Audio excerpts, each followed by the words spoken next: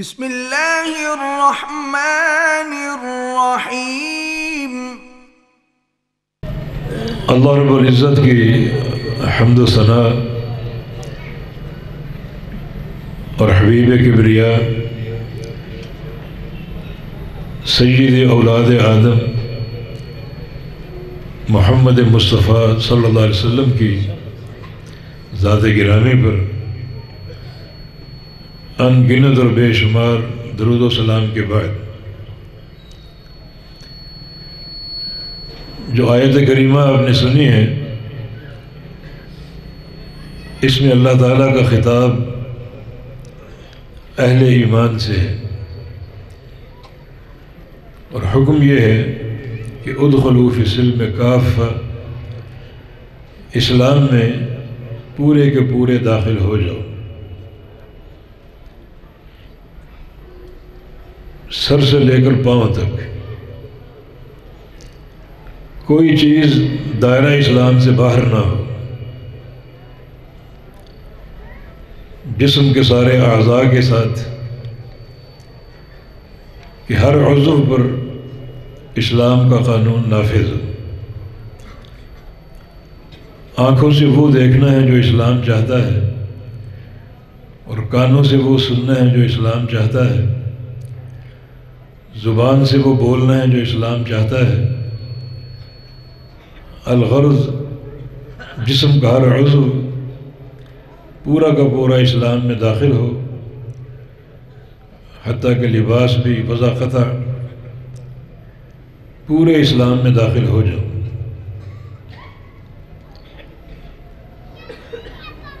اس کا ایک معنی تو یہ ہے۔ یہ مفہوم بھی بن سکتا ہے کہ پوری زندگی کے لیے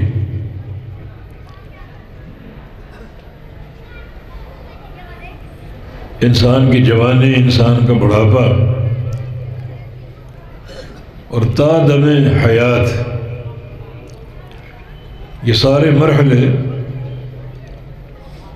اسلام کے اندر گزرے۔ جوانی کے ساتھ، بڑھاپے کے ساتھ مرنے جینے کے ساتھ پورے کے پورے اسلام میں داخل ہو جاؤ۔ جوانی کی عمر میں اگر اسلام میں داخل ہو گئے، تو نبی علیہ السلام کی حدیث ہے سب آتم یلحم اللہ فی ظل یوم اللہ دلّہ اللہ ذلہ کہ سات جسم کے انسانوں کو اللہ تعالیٰ قیامت کے دن اپنے عرش کا سایہ عطا فرمائے گا۔ جس دن پورے میدان معاشر میں اللہ تعالیٰ کے سائے کے علاوہ کوئی سایہ نہ ہوگا۔ جس سائے کی ہر ایک کو طلب اور تلاش ہوگی۔ بتدن الشمس و تکون علی مسافت میل۔ سورج قریب آتے آتے ایک میل کے فاصلے پر ٹھہر جائے گا۔ قیامت کا سورج جو دنیا کے سورج سے زیادہ گرم ہوگا۔ اور واقعتاً سائے کی ہر ایک کو ضرورت ہوگی۔ تو ان میں سے ایک نوجوان ہے شاہ بن نشہ فی عبادت ربی ہی، وہ نوجوان ہے جو اپنے رب کی عبادت میں پروان چڑھے۔ تو جوانی کی یہ عمر یقیناً بڑی قابل فخر اور قیمتی ہے اگر یہ رب تعالیٰ کی عبادت میں گزرے۔ اور انسان یہ سمجھ لے کہ میں نے جوانی ہی سے، نوجوانی ہی سے اپنے آپ کو پورا کا پورا دین اسلام میں داخل کرنا ہے اور پھر داخل ہی رہے۔ اللہ تعالیٰ کی عبادت پر، اور اس کے حبیب محمد مصطفیٰ علیہ السلام کی اطاعت پر ہمیشہ مستعد رہے۔ کوئی لمحہ اس دائرے سے باہر نہ گزرے، ورنہ وہ بڑا خطرناک ہوگا۔ اسی اطاعت میں اگر وہ بڑھاپے کی عمر کو پہنچ جاتا ہے، تو بڑے فضائل نبی علیہ السلام سے منقول ہیں۔ منشاب شیبتن فی الاسلام کانت لہو نوراً یوم القیام جو اسلام کی حالت میں اللہ اور اس کے رسول کی اطاعت کرتے کرتے بوڑھا ہو گیا اور اس کے سفید بال آ گئے، تو اس کا ہر سفید بال قیامت کے دن نور بن جائے گا۔ قبر میں جائے گا، نور ساتھ ہوگا۔ اور کل میدان معاشر میں جہاں اندھیرے ہی اندھیرے ہوں گے، ہر سفید بال جو ہے وہ اسے نور فراہم کرے گا۔ راستہ دکھائی دے گا، منزل سامنے ہوگی، ہر چیز آسان ہوگی۔ بالخصوص جو پولیس رات کا مرحلہ ہے، جو جہنم پر نصب ہوگا اور وہاں تاریخی ہوگی۔ خود پولیس رات ایک ریزر کی طرح کاٹنے والا، جس پر سے چل کر گزرنا ہے۔ تو وہاں اندھیرا بھی ہو، نیچے جہنم کی آگ ہو، راستہ اتنا خطرناک ہو، کیسے گزرنا ممکن ہوگا؟ یہ گزرنا نور کی برکت سے ہے۔ تو نبی علیہ السلام نے فراہمی نور کے انتظامات اور ہدایات ہمیں عطا فرما دیں۔ کہ اللہ اور اس کے رسول کی اطاعت کرتے کرتے بوڑھے ہو جاؤ گے، سفید بال آ جائیں گے، تو ہر بال قیامت کے دن نور بن جائے گا۔ اس کے علاوہ جو اعمال صالحہ ہیں، ہر عمل نور بن جائے گا۔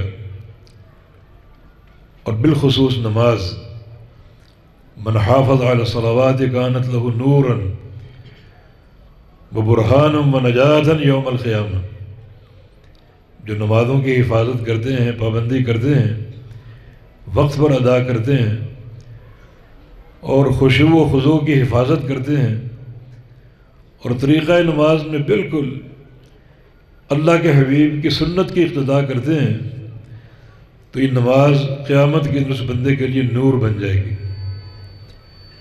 اور ایک اور حدیث میں رسول اللہ علیہ وسلم کا فرمان ہے من شاب شیبت فی الاسلام، کانت لہو بکل شیبت حسن جو اسلام کی حالت میں بوڑھا ہو جائے، تو اللہ تعالیٰ اس سے ہر سفید بال کے بدلے ایک نیکی عطا فرمائے گا۔ اور یہ نیکی بڑی عظیم و شان ہوگی، بڑا اس کا وزن ہوگا کہ اس نیکی کے پیچھے اس بندے کی پوری زندگی کا مجاہدہ ہے۔ اس کی اطاعت ہے اس کی نمازیں اس کے روزے کہ اسلام پہ چلتے چلتے یہ بوڑھا ہوا اور اسلام پہ چلتے چلتے اس کے جسم کے بال سفید ہوئے۔ تو ہر بال کے بدلے ایک نیکی ملے گی، بڑی بوجھل، بڑی بھاری۔ ادخلو فی سلم کاف اسلام میں پورے آ جاؤ۔ پورے وقت کے لیے آ جاؤ۔ بڑھاپے تک، بلکہ موت تک آ جاؤ۔ اور کبھی اس دائرے سے باہر نہ نکلو۔ اور پورے آنے کا معنی ہر عمل کے ساتھ، جسم کے ہر عضو کے ساتھ، عقیدے کے ساتھ، اعمال اور احکام کے ساتھ، فضائل کے ساتھ، اخلاق حسنہ کے ساتھ پورے اس دین میں داخل ہو جاؤ۔ علامہ ابن قیم رحمہ اللہ نے اس کو ایک مثال سے وعدے کیا ہے کہ انہیں کھجور کے درخت کی مانند جس کی جڑیں بھی ہوتی ہیں مضبوط اور پھر اس کی شاخیں اور پتے اور پھل بھی، ان تین چیزوں کے بغیر اس درخت کا تصور نہیں ہے۔ تو اسلام میں داخل ہونے کا معنی بھی یہی ہے، جو جڑیں ہیں کھجور کی، وہ منزل عقیدہ ہے، عقیدہ ٹھوس ہو۔ اس میں کوئی خرابی نہ ہو، کوئی خلل نہ ہو۔ ایک سوئی کے ناکے کے برابر بھی کمی بیشی نہ ہو۔ اور پھر کھجور کا درخت، اس کی شاخیں اور اس کے جو بڑے بڑے پتے، یہ مانند عمل کے ہیں۔ جتنا یہ درخت اونچا ہوتا جائے گا، اسی طرح ایک عمل کی رفعت آپ کے اندر موجود ہو۔ اور اگر وہ درخت پھل نہ دے تو اس کا کوئی فائدہ نہیں ہے۔ اور یہ پھل ب منظر اخلاق جو انسان کی مٹھاس ہے، اس کے اخلاق کی مٹھاس، اس کی زبان کی مٹھاس، اور اس کی گفتار کی مٹھاس، تعلقات کی مٹھاس، بالکل کھجور کے پھلوں کی مانند میٹھا ہو۔ یہ تین چیزیں مکمل دین ہیں۔ عقیدے کی صلابت، پختگی اور عمل کا حسن اور اخلاقیات ان تینوں کے ساتھ مل کر اسلام کی عمارت پوری ہوتی ہے۔ تو پھر یہ عمل ہے ادخلوف اسلم کافہ پر کہ اسلام میں پورے داخل ہو جاؤ اور کوئی کمی باقی نہ رہے۔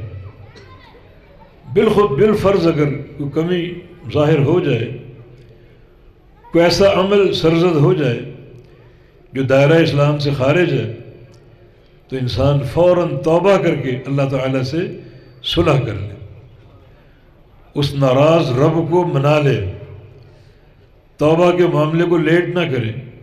اس کی کوشش نہ ہو کہ اس کے نامہ اعمال میں کوئی سیاہی لکھی جائے۔ یہ بھی دین اسلام کی برکت اور وسعت ہے۔ رسول اللہ علیہ وسلم کا فرمان ہے، جب انسان کوئی گناہ کرتا ہے تو اللہ رب العزت فرشتوں کو حکم دیتا ہے کہ چھ پہر اس گناہ کو مت لکھنا۔ رکے رہو، چھ پہر انتظار کرو۔ دیکھو میرا بندہ کیا کرتا ہے۔ اگر یہ توبہ کر لے، معاملہ صاف کر لے، تو لکھنے کی ضرورت نہیں ہے۔ اس کے اعمال نامے کو سیاہ مت کرو۔ اور اگر یہ بدبخت چھ پہر گزرنے کے باوجود بھی توبہ نہ کر سکے، پھر وہ گناہ نوٹ ہوتا ہے۔ جو نام اعمال کی سیاہی کا باعث بنتا ہے، تو دین تو بڑا ہی بابرکت ہے۔ گناہ کرنے والے کے لیے مبارک ہے۔ کہ بندہ چھ پہر سے قبل قبل توبہ کر لے تاکہ اس کا نامہ اعمال سیاہ نہ ہو اور سیاہ ہونے سے بچ جائے۔ اور آگے فرمایا کہ فلاں طب خطوات شیطان شیطان کے قدموں کی پیروی مت کرنا۔ ان نہ ادب و مبین وہ تمہارا بڑا کھلم کھلا خطرناک دشمن ہے۔ رب تعالیٰ یہ اطلاع دے رہا ہے۔ کہ اس کی پیروی مت کرنا، اس کے راستے پہ مت چلنا۔ وہ تمہارا دشمن ہے۔ اس کو دشمن مانو اور بناؤ۔ ان شیطان الکم ادو فتح ادو کہ شیطان تمہارا دشمن ہے۔ اس کو دشمن سمجھو۔ فتح ادو اس کو دشمن سمجھو۔ ان نما ید اور حزبہ ہو لیکون من اصحاب سعید کیا تم جانتے ہو شیطان تمہیں کیوں دعوت دیتا ہے؟ تمہارے پیچھے کیوں پڑا ہوا ہے؟ اپنے راستے پر کیوں چلانا چاہتا ہے؟ جو بھی اپنے راستے پر چلانے کی کوشش کرتا ہے، اپنا ساتھی بنانے کی کوشش کرتا ہے، تو کچھ نہ کچھ فائدہ وہ پہنچاتا ہے۔ مگر شیطان جو تمہیں دعوت دیتا ہے، اس کا ایک ہی مقصد ہے کہ تم جلتی آگ کا ایندھن بن جاؤ۔ یہ اس کی خواہش ہے۔ اس کے بلانے کا مقصد ہے۔ اپنی راہ پر ڈالنے کا مقصد ہے کہ تم جلتی آگ کا ایندھن بن جاؤ۔ تو پھر جب ایک خبر تمہیں دے دی گئی اور شیطان کی دوستی کا انجام تمہیں بتا دیا گیا، تو اس کے بعد اگر شیطان کی پیروی ہو اور اس کی دوستی کو انسان ترجیح دے، تو بڑا یہ بربادی کا اور ہلاکت کا راستہ ہے جو انسان خود اپنے لیے تجویز کر رہا ہے۔ اس کی عداوت کو ڈھکی چھپی نہیں ہے۔ کیا شیطان نے تمہارے ماں باپ کو جنت سے نہیں نکلوایا؟ اس سے بڑی عداوت کو کوئی دلیل ہے؟ ہمارے ماں باپ اگر جنت میں ہوتے تو ہم بھی جنت میں ہوتے۔ مگر جنت سے نکالا گیا، اس زمین پر اتارا گیا اور ہم بھی اس زمین پر رہ رہے ہیں۔ مختلف مشاکل میں گھری گھری زندگی کے ساتھ۔ تو سارا کیا دھرا یہ شیطان کا وسوسہ ہے۔ شیطان کی عداوت ہے کہ اس نے ہمارے ماں باپ ماں باپ کو جنت میں رہنے نہیں دیا اور نکلوا کے چھوڑا۔ تو پھر یہ دوستی کے قابل ہے۔ جو ہمارے ماں باپ کا دشمن ہے، وہ ہمارا دوست ہو سکتا ہے۔ اس سے ہماری دوستی ہو سکتی، تعلق ہو سکتا ہے۔ اس کے راستے کو ہم اختیار کر سکتے ہیں۔ اس کی عداوت تو پھیلی ہوئی ہے۔ ابراہیم علیہ السلام خلید اللہ، سارے انبیاء کے باپ اور دادا، توحید کے پہاڑ، شیطان کی سازشیں اس کو ترس آیا۔ ان کے تقوی کا، زہد کا اور توحید کا اس نے خیال کیا۔ قوم کو مشورہ دیا کہ ان کو جلا دو۔ یہ شیطان کی عداوت ہے۔ چنانچہ قالو حرقوہ، یہ پوری قوم کی آواز تھی کہ ابراہیم علیہ السلام کو جلا دو۔ ساری رعیت اس آگ جلانے میں شریک ہوئی گورنمنٹ کے وسائل بھی۔ اور ایک ایسی آگ جلانے میں وہ کامیاب ہوئے کہ اس قسم کی آگ چشم فلک نے دیکھی نہیں ہوگی۔ پوری قوم کے وسائل اس میں جھونک دیے گئے۔ حکومت کے وسائل اس میں جھونک دیے گئے۔ اتنی گرم آگ ہو گئی، ماحول بھی گرم ہو گیا کہ قریب جا کے ان کو پھینکنا ممکن نہ رہا۔ پھر شیطان آ گیا۔ اور مشورہ دیا منجنیک کا ایک توپ جیسا آلہ کہ وہ دور سے اس منجنیک سے تم آگ میں پھینک سکتے ہو۔ منجنیک تیار کی گئی۔ اس میں ابراہیم علیہ السلام کو ڈالا گیا، مگر منجنیک چل نہیں رہی۔ اور وہ پھینکنے میں کامیاب نہیں ہو رہے، پھر شیطان آ گیا۔ کہ اس وقت لباس پہنے ہوئے ہیں۔ فرشتوں کا وزن ان کے ساتھ ہے۔ تم فرشتوں کے وزن کے ساتھ منجنیر کو نہیں چلا سکتے۔ ان کا لباس اتار دو۔ ابراہیم خلید اللہ علیہ السلام کا لباس اتارا گیا۔ فرشتے ہٹ گئے۔ تب وہ منجنیک سے پھینکنے میں کامیاب ہوئے۔ رسول اللہ علیہ وسلم کی حدیث ہے کہ اول من یکسا یوم القیامہ ابراہیم علیہ السلام، کہ قیامت کے دن جنت کا لباس فاخر سب سے پہلے ابراہیم علیہ السلام کو پہنایا جائے گا۔ کیونکہ انہیں سب سے پہلے اللہ کی راہ میں برہنا کیا گیا۔ تو اللہ تعالیٰ ان کے اعزاز میں اور یہ صلح دیتے ہوئے انہیں سب سے پہلے جو ہے وہ جنت کا لباس پہنائے گا۔ دنیا برہنا اٹھے گی۔ ابراہیم علیہ السلام لباس پہنے آئیں گے۔ اللہ کی راہ میں ان کو برہنا کیا گیا۔ یہ شیطان کی عدابت ہے۔ واقعات تو بے شمار ہے خود محمد الرسول اللہ علیہ وسلم، اکرم الخلائق، پوری کائنات کے سردار، امام الانبیاء تو شیطان کو ترس آیا۔ وہ قصہ مشہور ہے۔ جب اللہ کے نبی صلی اللہ علیہ وسلم بنو نذیر یہودیوں کی بستی میں گئے۔ ایک مسلمان سے قتل ہو گیا، اس کی دیت میں تعاون کے لیے۔ کیونکہ آغاز مدینہ، جو مدینہ کی زندگی آپ کی، آغاز میں یہودی آپ کے حلیف تھے۔ بعد میں سارے معاہدے توڑ دیے گئے، ختم کر دیے گئے۔ تو حلیف کا معنی مدد کرنا ایک دوسرے کی، کوئی اس قسم کا موقع بن جائے۔ اب قتل ہو گیا، دو بندوں کا، ایک مسلمان سے۔ دو سو اونٹ دیے تھی بیت المال کمزور تھا۔ تو آپ یہودیوں کے پاس گئے کہ دیت کے معاملے میں تعاون کریں۔ ساتھ آپ کا غلام تھا، بس۔ آپ کو بٹھایا گیا ایک مکان کے سائے تلے۔ بڑی عزت اور تقریم بظاہر دی گئی۔ اور ساتھ ہی ساتھ اس لعین اور خبیص قوم نے سازش کر ڈالی اللہ کے پیارے پیغمبر کو قتل کرنے کی۔ شیطان پہنچ گیا۔ اس سے بہتر موقع اور کون سا مل سکتا ہے؟ جان چھڑاؤ۔ تو اگر لیکن اگر قتل کرو گے، بظاہر کھلم کھلا، تو ایک جرم تمہارا وہ قابل سزا ہوگا۔ کو ایسا حربہ اختیار کرو کہ یہ قتل اتفاقی نظر آئے۔ چنانچہ جس سائے تلے بٹھایا گیا تھا، اوپر چھت تھی۔ چھت کی دیوار کا سایہ تھا۔ وہاں شیطان نے مشورہ دیا، ایک بھاری پتھر پہنچا دو۔ اور ایک شخص اوپر سے گرا دے۔ وہ مجہول ہوگا مبم ہوگا۔ کس نے گرایا، کیسے پتھر گر گیا؟ اس کا انکشاف نہیں ہو پائے گا۔ اور اللہ کے نبی صلی اللہ علیہ وسلم باللہ، اس پتھر تلے دب کر فوت ہو جائے۔ اور ایسا ہی ہوا۔ آپ کو بٹھا دیا گیا۔ اور ایک اوباش بندہ چھت پہ چڑھ گیا۔ پتھر کو لڑکار ہے۔ پتھر گرنے کے قریب تھا، جبریل امین آ گیا اور آپ کو خبر دی کہ یہ ہونے والا ہے، یہاں سے فوراً اٹھو۔ آپ اٹھے۔ ظاہر یہ کیا کہ ہم باہر جانا چاہتے قضاء حاجت کے لیے۔ یہ ظاہر نہیں کیا کہ ہمیں اس سازش کا علم ہو گیا۔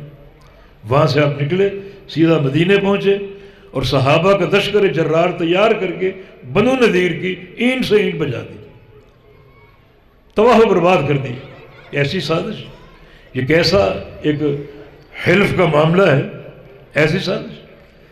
یہ سب شیطان کی تباہ کاری ہیں اس کے وسوسے۔ سے بلا تب خطوات شیطان تمہارا دشمن ہے۔ سمجھو وہ دشمن ہے۔ شیطان کی دو قسمیں ہیں۔ ایک ہے شیطان جنی اور ایک ہے شیطان انسی۔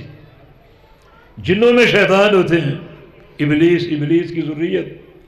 اور انسانوں میں بھی شیطان ہوتے ہیں۔ جو شیطان انسانوں کے ابلیس یا اس کی ضروریت کی صحبت میں رہیں، آہستہ آہستہ وہ شیطان بن جاتے ہیں۔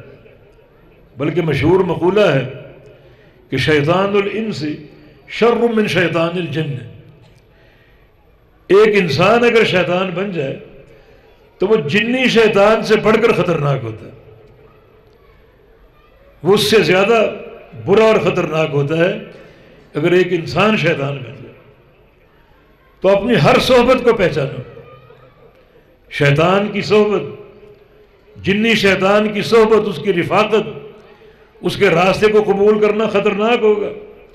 اس سے بھی خطرناک انسانی شیطانوں کی رفاقت ہے اور انسانی شیطانوں کی صحبت ہے۔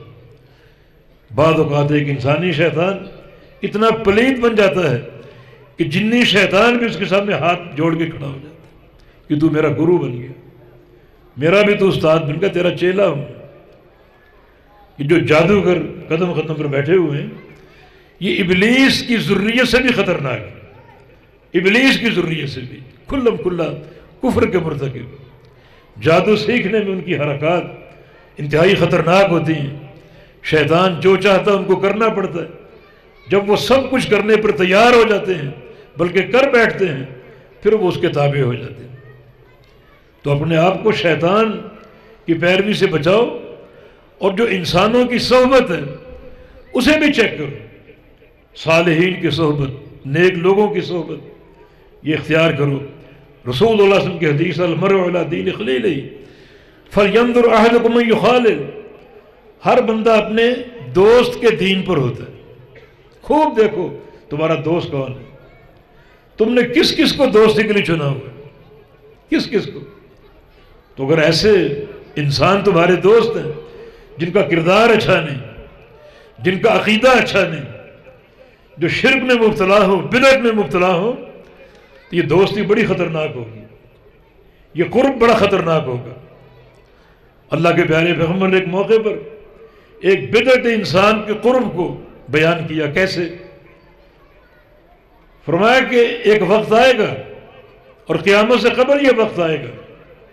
کہ لوگ جو ہیں، وہ ان کے اندر قلب کی بیماری داخل ہوگی قلب کی بیماری۔ اور یہ بیماری داخل ہوگی اصحاب الاراس اصحاب البدایت سے۔ بدعتی قسم کے لوگوں سے یہ یہ قلب کی بیماری داخل ہوگی۔ یہ قلب کا مرض کیا ہے؟ یہ جو بھاولا کتا ہوتا ہے، اگر وہ کسی کو کاٹ لے، تو اس کا بھاولا پن اس بندے میں بھی داخل ہو جاتا ہے اس کے ریشے ریشے میں، جب کسی کو کاٹ لیتے فرمایا کہ یہ مثال ہے بدعتی کے قرب کی۔ ایک بدعتی کے اگر قریب جاؤ گے اور ان کے ساتھ دوستی اور محبت کی پینگیں بڑھاؤ گے، ان کا قرب اختیار کرو گے، تو جیسے بھاولے کتے کے قریب جاؤ گے اور وہ تمہیں کاٹ لے گا اور تم بھاولے بن جاؤ گے ایسے بدعتی کی صحبت میں بیٹھو گے تو اس کا اثر تم پر آئے گا اور تم بھی بدعتی بن جاؤ گے۔ تو اپنی دوستی کو پرکھو۔ بالخصوص ایسے لوگوں کی دوستی جو بدعت اور شرک میں ملوث ہو یہ دوستی شیطان کی رفاقت سے بدتر۔ شیطان کی تو چاہت ہوتی ہے کہ بندے پر یہ دو جال سب سے پہلے پھینکے۔ اللہ قیم رحمہ اللہ نے جو ان کی مشہور تصویر ہے تصویر ابن قیم، اس میں محبتین کی تصویر میں لکھا کہ شیطان سب سے پہلے انسان پر شرک کا وار کرتا ہے، پھر بدعت کا وار کرتا ہے، اور اس کی کوشش ہوتی ہے کہ اس کو کسی ایک جال میں پھنسا لے، یا شرک کر بیٹھے یا بدعت کر بیٹھے۔ اور اگر پھنسانے میں کامیاب ہو جائے تو شیطان اس بندے کو چھوڑ دیتا ہے کہ جاؤ۔ اب مجھے کوئی پرواہ نہیں۔ جاؤ، نمازیں پڑھو تحجد پڑھو۔ ہر سال حج کرنے جاؤ، عمرے کرو، جہاد کرو۔ مجھے کوئی پرواہ نہیں، کیونکہ شرک جو بدعت کی موجودگی میں اللہ تعالیٰ کوئی نیکی قبول نہیں کرے۔ ٹکرے مارتے رہو، ریاستیں کرتے رہو۔ عاملت الناصبہ تسلا نارن حامیہ۔ دنیا میں بہت سے لوگ عمل کرتے کرتے تھک جائیں گے۔ تھک جائیں گے، مگر قیامت کے دن دہتی آگ کا لقمہ بن جائیں گے۔ وجہ یہی ہے شیطان کامیاب ہو گیا، ان دو میں سے ایک جال میں پھنسانے شرک کا جال یا بدعت کا جال۔ کوئی نیکی قابل قبول نہیں، کوئی نیکی قابل قبول نہیں۔ آپ دیکھیں گے بہت سے بےزتی لوگ ہیں، بڑا ان کو حج کا شوق ہوتا ہے، عمروں کا شوق ہوتا ہے، تہجد کا شوق ہوتا ہے زحا کی نمازیں پڑھتے ہیں اور جناب اشراق کی نمازیں پڑھتے ہیں۔ شیطان کچھ نہیں، پڑھو جو مرضی پڑھو۔ صدقے کرو، زکاتیں دو۔ صدقات کے ڈھیر لگا دو۔ کوئی پرواہ نہیں۔ کیونکہ شرک اور بدعت کی موجودگی میں اللہ تعالیٰ کوئی نیکی قبول نہیں کرے گا۔ تو اس اس رفاقت کو سمجھو۔ ان شیطان رقم ادوبت شیطان تمہارا دشمن ہے۔ فتح ادوا اسے دشمن بنا کے رکھو۔ جو شیطان کی تدلیل ہے، جو وہ گمراہ کرتا ہے، اس گمراہی کے تعلق سے دو باتیں آج بڑی قابل غور نمبر ایک شیطان نے کیا کہا تھا؟ جب وہ راندہ گیا، جب اللہ نے اس کو رد کر دیا، مسترد کر دیا، تو اس نے اللہ کے بندوں کو گمراہ کرنے کا اندیا دیا۔ اور گمراہ کیسے کرے گا؟ لاکھوں لهم صراطك المستقیم۔ کہ تیرے بندوں کے لیے میں تیرے سیدھے راستے پر بیٹھوں گا۔ اس راستے سے دور نہیں جاؤں گا۔ اپنا الگ راستہ نہیں بناؤں گا۔ بیٹھوں گا اسی لائن پر، جو خط مستقیم ہے، جو سرات مستقیم ہے، جو جنت کی شاہراہ ہے، اسی پر بیٹھوں گا، دور نہیں بیٹھوں گا۔ اسی میں تو لوگ بہکیں گے نا، دھوکہ کھائیں گے۔ یہاں بیٹھنے کے دو معنی ایک معنی یہ کہ جو تیرے راستے پر چلنے کی کوشش کرے گا، اس کو روکوں گا۔ کوئی نمازی بنے یا حج کرنے کا ارادہ کر لے۔ عمرہ کرنے کی سوچ لے، جہاد کی سوچ لے، میں اس کو روکوں گا، منع کروں گا، اس کو بعد رکھوں گا۔ اگر اس میں کامیاب نہ ہو سکا، وہیں بیٹھا رہوں گا، پھر دوسرا حربہ استعمال کروں گا۔ وہ حربہ کیا ہے؟ کیا بند آجا بیٹے آجا اس راہ پر چل۔ اس راہ کو اختیار کر لے۔ مگر اس راستے کو اپنی زینتوں کے ساتھ، سجاوٹوں کے ساتھ پیش کروں تیرا راستہ بالکل سیدھا ہے۔ مخلص بندے اس کو قبول کریں گے۔ مگر اکثریت ان لوگوں کی ہوگی جو اس راستے کے تعلق سے میری سجاوٹیں مانیں گے میری زینتوں کو مانیں گے کہ ٹھیک ہے یہ راستہ بڑا خوبصورت لگ رہا ہے۔ بڑا اس میں حسن ہے، بڑا اس میں جمال ہے۔ حالانکہ وہ میری پیداوار ہوگی بدایت ہوگی جن کو اچھا سمجھتے وہ قبول کر لیں۔ ایک مثال سے اس بات کو واضح کرتے ہیں۔ تاکہ یہ موقف اچھی طرح نکھر جائے یہ سونم دارمی کی حدیث ہے۔ کوفہ کی مسجد میں ایک عمل ہو رہا تھا۔ اور یہ عمل نبی علیہ السلام کے صحابی ابو موسیٰ عشری نے دیکھا، رضی اللہ عنہ۔ عمل یہ تھا کہ حلقہ ایک بنا ہوا ہے۔ اس حلقے کا ایک امیر ہے۔ اور سامنے گٹھنیوں کے ڈھیر پڑے ہوئے۔ اور امیر ان سے اجتماعی ذکر کروا رہے۔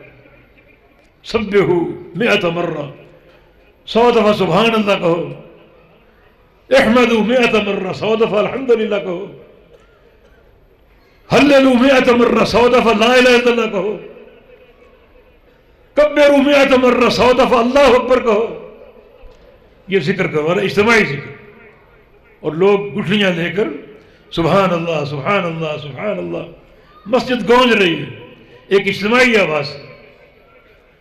اب موسیٰ عشر رضی اللہ عنہ یہ سارا منظر دیکھ رہے ہیں۔ نبی اسلام کے صحابی، بلکہ بہت بڑے صحابی۔ اللہ کے پیارے پیغمبر ان کے مناقب بیان کیے۔ لقد اوتی هذا مزمارا من مزامیر آل داود ایک دفعہ پیغمبر علیہ السلام تہجد کی نماز سے فارغ ہو کر ابو موسیٰ عشری کے خیمے کے باہر کھڑے ہو گئے اور ان کا قرآن پڑھنا رات بھر سنتے رہے۔ فرمایا کہ اللہ نے اس کو لہن داودی دے دی ہے۔ یہ قرآن کی تلاوت کرتے ہیں۔ لگتا ہے کہ جبریل داود علیہ السلام اللہ کے نبی، اللہ کی وحی کو پڑھ رہے ہیں۔ اتنا عمدہ ان کا پڑھنا۔ بڑے ان کے مناقب۔ انہوں نے دیکھا یہ کام جو ہو رہا بظاہر اچھا ہے۔ ذکر ہو رہا ہے۔ اللہ کے گھر میں ہو رہا ہے۔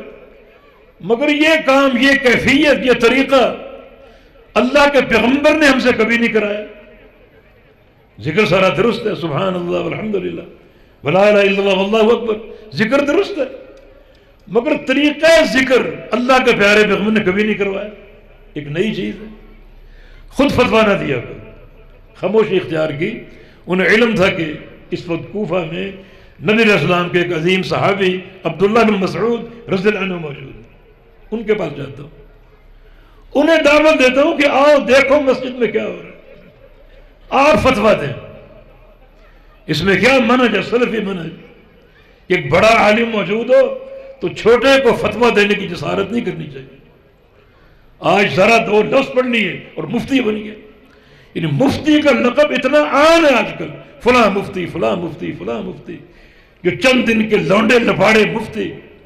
یہ کوئی آسان کام؟ امام مالک رحمہ اللہ، امام دار الحجرہ جب وقت کے ستر فقہا اور محدثین نے گواہی دی کہ امام مالک اب فتوہ دینے کے قابل ہیں، تب وہ مسند فتوہ پر بیٹھے۔ اور دیکھو صحابہ کا میں نے، ابو مساشری اللہ کے نبی کے بڑے عظیم صاحب، لیکن فتوہ نہیں دیا۔ سید عبداللہ کے پاس آئے، ابن مسعود رضی اللہ اور واقعی وہ وقت کے عالم، بہت بڑے محدث، بہت بڑے عالم۔ ان کے پاس آئے کہ مسجد میں ایک کام ہو رہا ہے، کام تو اچھا ہو رہا ہے، مگر نبی علیہ السلام نے کبھی وہ کام ہم سے نہیں کروایا۔ یہ ایک نئی چیز لگ رہی ہے، لیکن کام اچھا ہو۔ آپ آئیے، آپ دیکھیے۔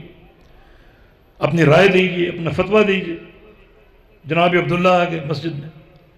حلقہ جاری ہے۔ وہ امیر سو سو دفعہ بار بار ذکر کروا رہے ہیں۔ سو دفعہ سبحان اللہ، سو دفعہ۔ الحمدللہ۔ اور لوگ بلند آواز سے وہ ذکر کر رہے ہیں، اجتماعی طور۔ بیک آباد ہو کر۔ جب وہ سرکل پورا ہوا، جناب عبداللہ کھڑے ہیں، تو اب خاموش نہ رہ پڑے، رہ سکے۔ پہلا جملہ فرمایا، لقد جی تم ظلم تم نے میرے نبی کے دین پر ظلم کرتے ہوئے ایک بدعت کو شروع کیا اور بدعت کو رائج کیا۔ یہ ظلم ہے میرے پیارے نبی کے دین پر۔ اور کہا کہ لوگوں، افسوس ہے۔ اللہ کے نبی کے جوتے موجود ہیں، کپڑے موجود ہیں، برتن موجود ہیں۔ ابھی چند سال ہوئے آپ کے انتقال کو۔ ماں اثر ہلاکت کو تم کتنی جلدی برباد ہو گئی آپ کی نشانیاں موجود ہیں، اور تم نے کتنی جلدی بربادی کو گلے لگا لیا۔ جو کام تم کر رہے ہو، یہ کام اللہ کے پیغمبر نے کبھی نہیں کیا، نہ کبھی کروایا۔ اور اللہ کے پیغمبر کا ہر خطبہ کیا ہوتا تھا؟ ان خیر الحدی حدی محمد صلی اللہ علیہ وسلم بشر الامور محدثات کہ سب سے بہترین طریقہ محمد مصطفیٰ علیہ السلام کا طریقہ طریقے بہت ہوں گے مگر تم نوٹ کر لو کہ سب سے بہترین طریقہ محمد مصطفیٰ علیہ السلام کا طریقہ ہے اور سب سے بدترین راستہ سب سے بدترین طریقہ وہ ہے جو دین میں نیا ہو، یہ نیا راستہ ہے۔ ذکر ثابت سبحان اللہ الحمد للہ، ولا الہ الا اللہ مگر طریقہ ذکر ثابت نہیں۔ یہ گٹھلیوں کے ڈھیر ثابت نہیں ہے۔ حلقہ بنانا ثابت نہیں ہے۔ ایک امیر کے تحت ذکر کرنا ثابت نہیں ہے۔ بیک آواز ہو کر اجتماعی ذکر ثابت نہیں ہے۔ یہ چار پانچ نئی چیزیں۔ یعنی یہ لوگ ذکر کرنا چاہتے تھے۔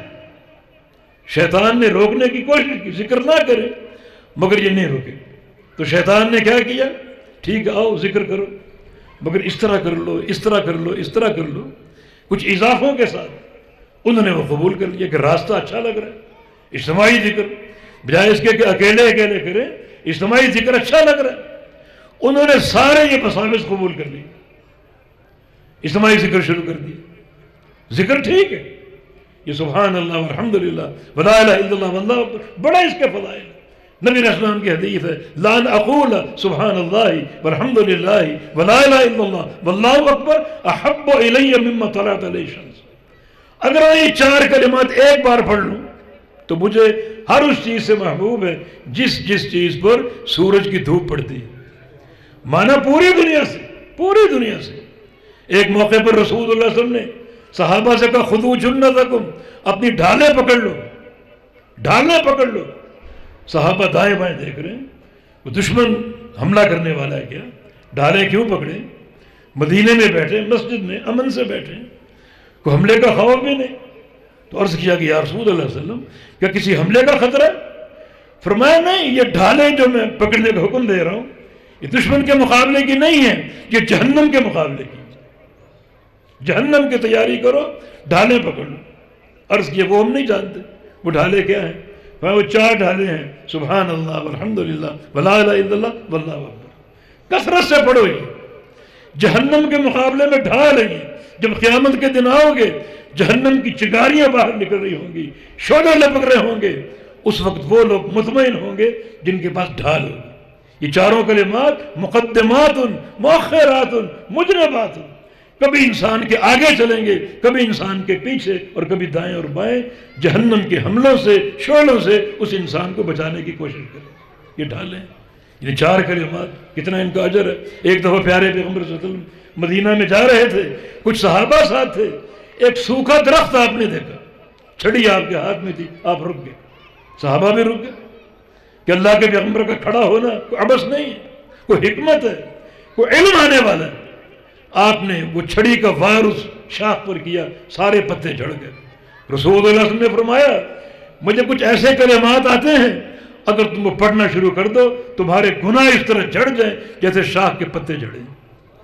وہ کلمات کیا ہیں؟ وہی سبحان اللہ الحمد للہ ولا الہ الا اللہ، واللہ۔ یعنی کلمات کے فضائل ثابت ہے طریقہ نہیں ہے۔ یعنی شیطان نے کلمات پڑھنے سے نہیں روکا، مگر اپنے اضافے کر کے پیش کر دی اس طرح کرو۔ جیسے ہمارے یہاں تکلفات ہوتے ہیں، جناب بتیاں بجھا دو ذکر کرنے کے لیے، اور حلقہ بنا لو جناب، اور جناب سینے پر ضربے لگاؤ، تکلفات سارے شعبدہ بازی جناب عبداللہ مسعود نے سب کچھ دیکھا، حکم لگا کہ لقجی تمہیں بدعت ظلم تم نے اس دین پر ظلم کرتے ہوئے ایک بدعت کو جاری کیا۔ تم کتنی جلدی برباد ہو گئے۔ اور ساتھ ساتھ یہ فرمایا کہ یہ کام اللہ کے نبی نے نہیں کیا، صحابہ نے نہیں کیا اس کا معنی یہ کہ تم صحابہ سے آگے بڑھ گئے۔ جو کام نے سجائی نہیں دیا، وہ تم کر گئے، صحابہ سے آگے بڑھ گئے۔ اور آخری بات بڑی خطرناک کہی، عدو سیئاتکم فانا ضامن اللہ یزیع من حسناتکم شیء جاؤ باہر چلے جاؤ اور جا کر گناہ کرو۔ ایک گناہ کرو، دو کرو اور سو کرو۔ پھر مسجد میں آ جاؤ۔ ان گناہوں کو ان کٹلیوں پر شمار کرو۔ یہ ڈھیر لگا رکھے، یہ گٹھلیاں پکڑ لو اور ان گناہوں کو گنو، ان گناہوں کو شمار کرو۔ یہ بہتر ہے تمہارے اس طریقہ ذکر سے۔ کیوں؟ گناہ اگر کرو گے تو گناہ لکھا جائے گا۔ نیکیاں برباد نہیں ہوگی نیکیاں بھی موجود ہے گناہ بھی موجود ہے قیامت کے دن کامیابی کی توقع ہے۔ اس میزان کے دو پلڑے ہیں، ایک گناہوں کا ایک نیکیوں کا اللہ تعالیٰ گناہ اور نیکیوں دونوں کو تولے گا۔ ہو سکتا نیکیاں بڑھ جائیں گناہ پر غالب آ جائیں۔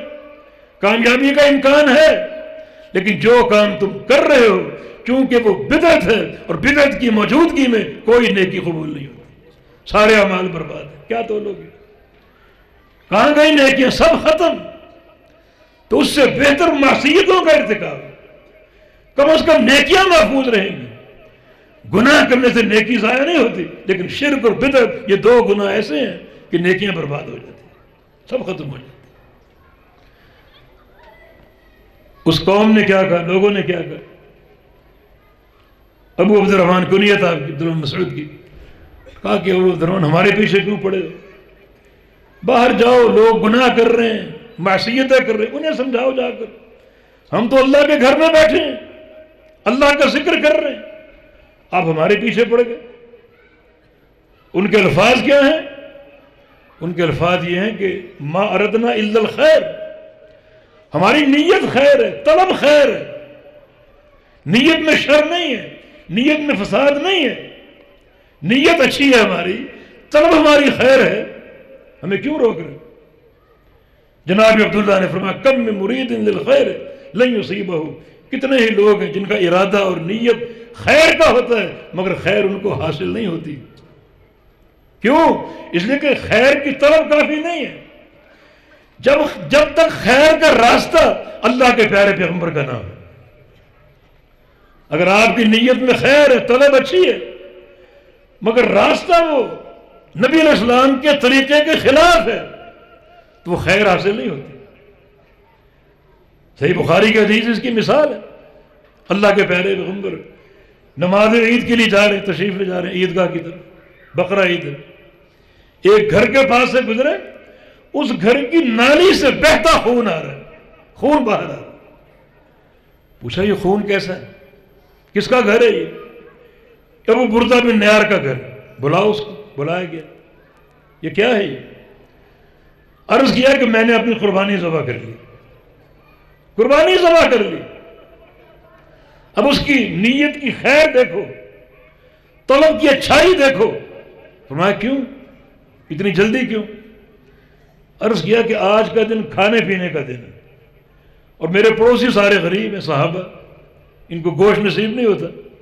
سوچا کہ آج ان کو انتظار نہ کرنا پڑے۔ اور میری قربانی کا گوشت جلدی ان کے گھر تک پہنچ جائے۔ مجھے خوشی ہوگی، ایک روحانی مسرت ہوگی۔ کہ میرے گوشت سے یہ ناشتہ کریں۔ ہے نا؟ نیت خیر کی۔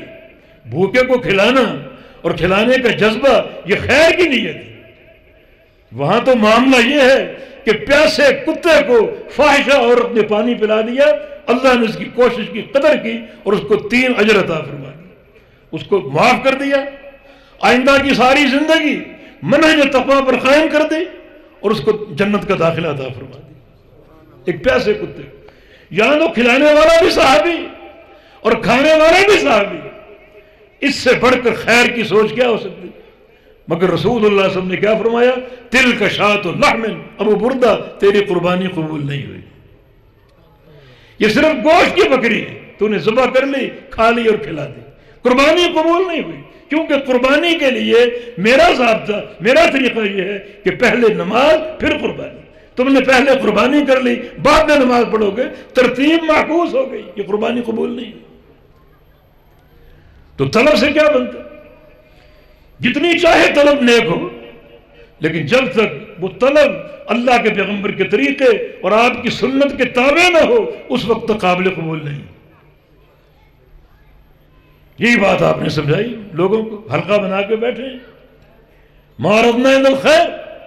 ہمارا ارادہ خیر کا ہے۔ جناب عبداللہ نے فرمایا کہ کم مرید خیر نہیں اسی بہو کتنے ہی لوگ ہیں، ارادہ ان کا خیر کا ہوتا ہے، نیت ان کی خیر کی ہوتی ہے، مگر خیر ان کو حاصل نہیں ہوتی۔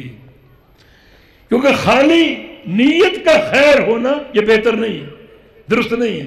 جب تک وہ خیر اور وہ نیت اللہ کے پیارے پیغمبر کے طریقے کے تابع نہ اور یہ مکمل دین دین اسلام کی تکمیل ان دو چیزوں کے ساتھ۔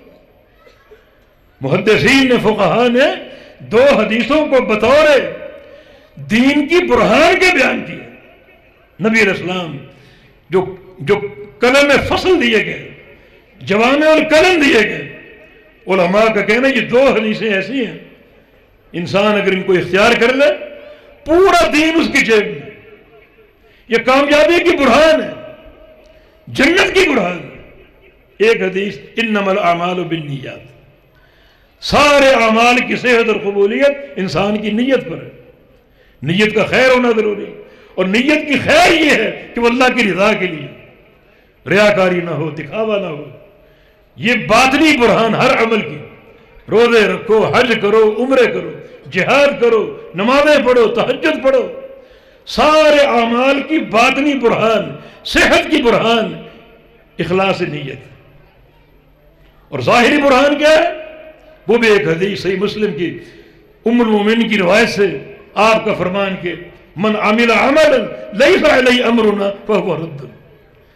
جس شخص نے ایسا عمل کیا جو عمل ہمارے طریقے کے خلاف ہے، اس پر ہمارا ٹھپا نہیں ہے، ہماری مہر تصدیق اس کو حاصل نہیں، وہ مردود ہے۔ عمل کرنے والا بھی اور وہ عمل بھی، دونوں مردود۔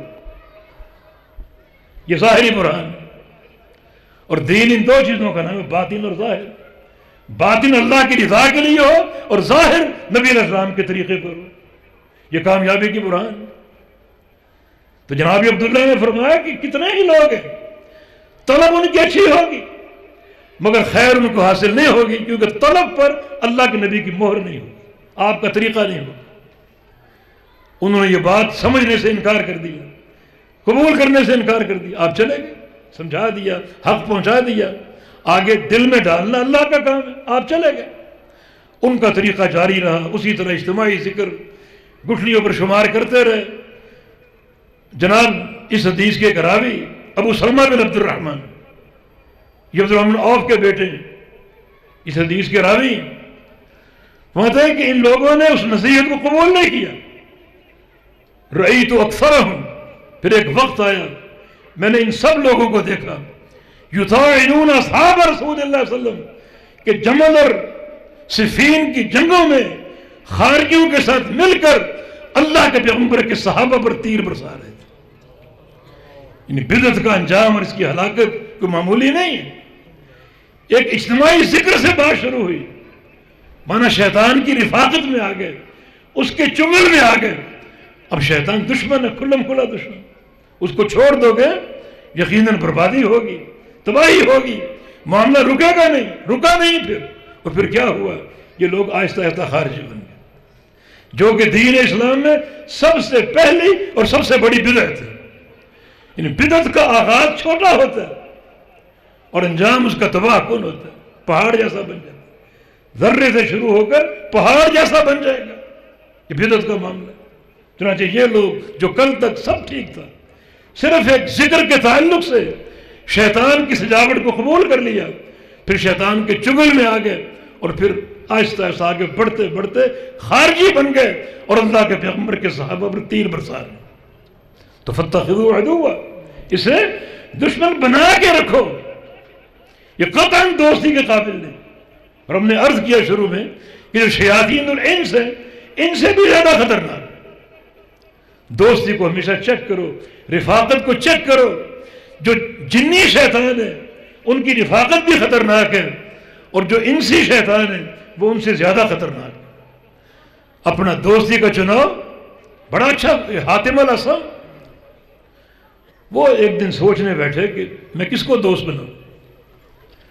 کس کو دوست بناؤں؟ کوئی ایسا دوست بناؤں جس کی دوستی عارضی نہ ہو، مستقل ہو، دائمی ہو۔ ہمیشہ کام آئے۔ مختلف نام سوچتے رہے، لیکن عارضی دوستی عارضی دوستی۔ پھر فرماتے ہیں کہ ایک دوست میرے ذہن میں آ گیا۔ اسے میں نے چن لیا دوستی کے لیے۔ اور وہ دوست کیا ہے؟ فخترت العمل صالح صاحب لی، نیک اعمال کو چن لیا دوستی کے لیے۔ جب انسان کل مرے گا، کوئی دوست قبر میں نہیں اترے گا۔ کوئی دوست عمل صالح اترے گا۔ اور اللہ تعالیٰ اس عمل صالح کو ایک دوست کی شکل دے دے گا، خوبصورت چہرہ بنا دے گا، جو اس کی تنہائیوں کو دور کرے گا، جو دنیا میں عمل صالح کی رفاقت تھی آج یہ قبر میں یہ رفاقت ایک بہترین دوست کی شکل میں آ گئی۔ خوبصورت چہرہ، انسیت کو دور کرے گا، وحشت کو دور کرے گا، قبر کی تاریخیوں اور خلبتوں کو دور کرے گا، اور وہ عمل صالح جو ہے، ایک خوبصورت چہرے کی شکل میں اس کے ساتھ رہے گا، ہمیشہ قیامت تک رہے گا۔ تو یہ دوست ہی خطرناک تو ضروری ہے کہ جو دوست کا چناؤ ہو، وہ اہل تقوی کے ساتھ ہو۔ اور شیطان سے عداوت ہو، بلکہ وہ طریقے اختیار کرو جس سے شیطان کی عداوت بڑھتی جائے۔ اور تمہارا شیطان تمہارے مقابلے میں ماندہ بن جائے، تھک ہار کے گر جائے، ایسے طور طریقے اختیار کرو۔ نبی علیہ السلام کی ایک حدیث ہے، شیخ البانی رحمہ اللہ نے سلسلہ میں اس کو صحیح کہا ہے۔ وہ حدیث ایک نسخے کے طور پہ پکڑ لو۔ کیا حدیث ہے وہ؟ ان المؤمن یمزی شیطان کما یمزی احدکم بعیرہ فی السفر۔ ایک مومن بندہ اپنے شیطان کو تھکا مارتا اس کو ماندہ کر کے بچھاڑ دیتا جیسے تم لوگ مسلسل سفر کر کے اپنی سواری کو تھکا مارتے سواری پر بیٹھ جاؤ، گھوڑے پر بیٹھ جاؤ۔ دوڑانا شروع کر دو، کب تک چلے گی؟ بلاخر تھک کے گر جائے گی۔ بندہ مومن بھی اپنے اپنے شیطان کو تھکا کے گرا دیتا ہے۔ معنی اس میں یہ ہے تلوی اس میں یہ ہے کہ جیسے گھوڑے پر آپ مسلسل سوار ہوں، سفر کرتے جائیں، کبھی رکے نہ، چلتے جائیں چلتے جائیں پھر آخر وہ گھوڑا گر جائے گا۔ اسی طرح آپ بھی عمل سارے کی سواری پر سوار ہو جائیں۔ چلتے جائیں۔ اللہ کا ذکر کرتے جائیں۔ قرآن کی تلاوت کرتے جائیں۔ اس مسلسل عمل سے شیطان اس سواری کی طرح ماندہ ہو کر گر جائے۔ گا بچھاڑ دو اس کو۔ اس کو گرا دو، بچھاڑ دو۔ یہ ایک طریقہ ہمیں دیا گیا۔ شیطان پر غلبہ پانے کے لیے۔ اگر تم طاقتور اور شیطان کمزور ہے وہ تمہیں ورغلانے کے قابل نہیں رہے گا۔ اور اگر تم کمزور پڑ گئے اور شیطان طاقتور ہے، وہ تمہیں بھی دے گا۔ تم پر وہ حاوی اور غالب آ جائے گا۔ تو نبی اسلام کی حدیث مشل راہ ہونی چاہیے۔ امام نے قیم فرماتے ہیں، اصل معاملہ اس میں یہ ہے کہ جب مومن اللہ کا ذکر کرتا ہے، تو ذکر کا ہر کلمہ شیطان کی پشت پر کوڑا بن کے برستا ہے۔ آپ نے سبحان اللہ کہا، اللہ کا ذکر کیا، وہ ایک کلمہ شیطان کی پشت پر کوڑا بن کے برسے گا، ڈنڈا بن کے برسے گا۔ آپ نے الحمدللہ کا دوسرا کوڑا، لا الہ الا اللہ کا تیسرا کوڑا، اللہ اکبر کا چوتھا کوڑا، بس ذکر کرتے جاؤ۔ ذکر روکو نہیں، جیسے سواری پر مسلسل سفر کر رہے ہو اور اس کو ماندہ کر کے گرا دو گے، اس طرح مسلسل ذکر کرتے رہو کرتے رہو۔ دن رات اللہ کو یاد کرو، دن رات اس کا ذکر کرو۔ کبھی قرآن کی تلاوت ہو رہی ہے، کبھی صبح کے اذکار، کبھی شام کے اذکار۔ کبھی نماز کیا جائے گی ذکر کرتے جاؤ کرتے جاؤ۔ حتیٰ کہ شیطان کو ماندہ کر کے گرا کے پھینک یہ قیس ابن حجاج ایک راوی، محدث ہے ان پر کسی نے جرا نہیں کی توسیع کی یہ دوسری صدی ہجری کے محدث یہ فرماتے ہیں کہ ایک بار میرا شیطان میرے سامنے آ گیا۔ میرا شیطان میرے سامنے آ گیا۔ اور کہتا ہے کہ دخل تو فی کر دخل تو فی کر وکن تو مثل جزور ولآن اصبحت مثل العصفور۔ کیا خیش میں تمہارے اندر جب داخل ہوا تھا، آج سے سالوں پہلے، تو میں پلے ہوئے اونٹ کی مانند تھا، طاقتور، موٹا تھا تھا پلا ہوا اونٹ۔ ایک اونٹ کی مانند تھا جب تمہارے اندر میں داخل ہوا اور آج مجھے دیکھ لو، ایک کمزور چڑیا کی طرح بن چکا۔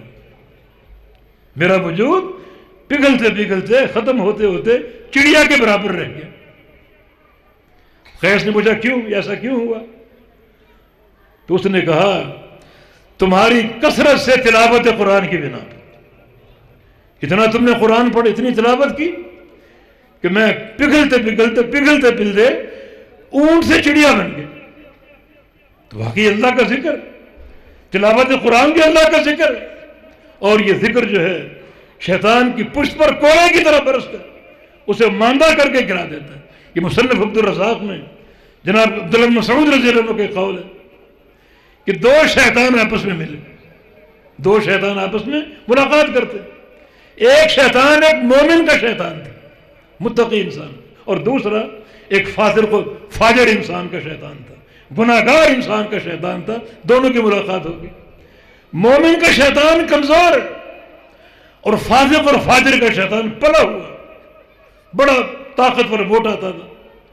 دونوں باتیں کر رہے ہیں کہ تم کمزور کیوں ہو اور تم پلے ہوئے کیوں تم طاقتور کیوں ہو؟ تو کمزور شیطان نے کہا، میں کمزور کیوں نہ ہوں؟